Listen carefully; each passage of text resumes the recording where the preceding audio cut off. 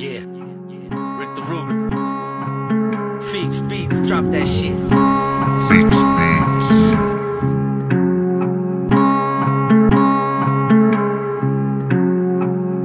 Why you gonna hit him where it don't hurt? Project in the house like homework, yo. You could probably make a fucking show first. We're gonna leave a blood stain on his whole shirt.